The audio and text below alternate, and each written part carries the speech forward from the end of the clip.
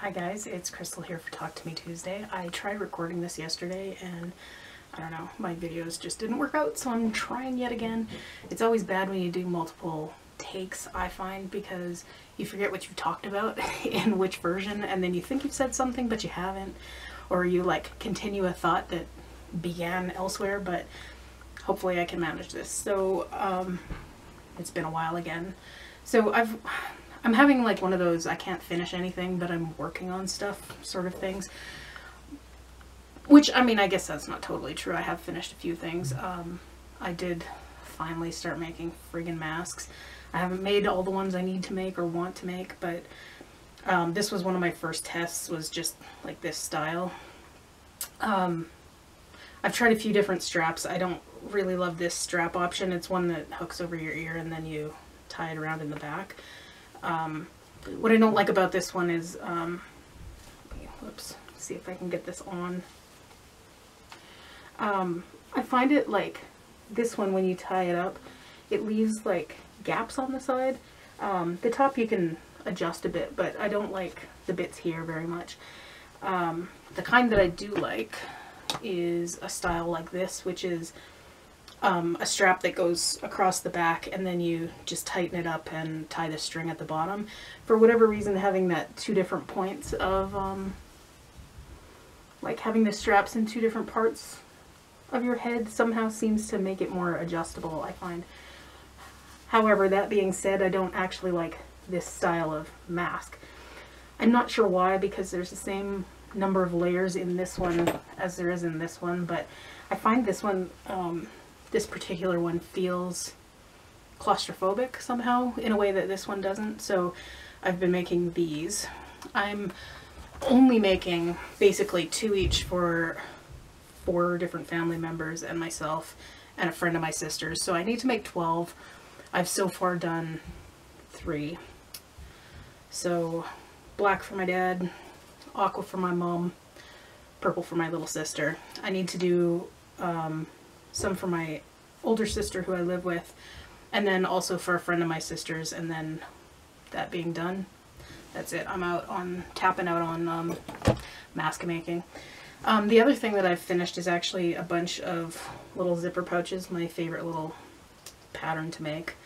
Um, these ones I used all Liberty of London fabrics and um, they're all for a giveaway so these four will be hitting the mail sometime this week and going off to their new homes. Um, I think they're cute. I always love this little pattern although I need to re um, re-square it or re-round the bottom because I think I've trimmed some of the plastic off of my plastic template and it's not so round anymore but that's okay. Uh, so there's that and then the rest of everything has just been a lot of like little bits and pieces. So um, on the wall behind me I've had since January this nine patch project. It's nine patches and um, snowball blocks and then just blank squares and I finally started piecing it together. I've got four rows pieced and joined which is what this is and then behind me is four more rows that are pieced together but not joined yet and then I think I have six more rows after that and then that top will be done. The big hope with this is to get it quilted by January. Oh, that was a bad noise. Um, that was my chair rubbing against the table beside me. Um, anyway, the the hope with this one is to get it done by January because it was a challenge from Kim Lapacek she does project quilting on Instagram if you've ever seen that and this year she also decided to do like a scrap challenge. So each month she gives you like a certain block. And if you want to you can make a full-size quilt using however many of that block as you want but it has to hit a certain quilt size. And um, and then you have to finish it all the way to binding. Like it has to be 100% done um, and then you can enter whatever and she probably has draws or something. She usually does draws with things. I don't actually remember. I just like the, um, I, I like nine patches and I had a pattern which I think is called like scraggly bits or something like that. And so I thought, why not? I have millions and millions of scraps. So that is all blue and blue and green scraps from my scrap bin, which somehow never empties no matter how much I use. I don't know. Anyway, um, yeah, that's that. Hopefully, hopefully I can get the top put together soonish, but we have a lot of upheaval at my house right now, so I don't know if that's going to happen.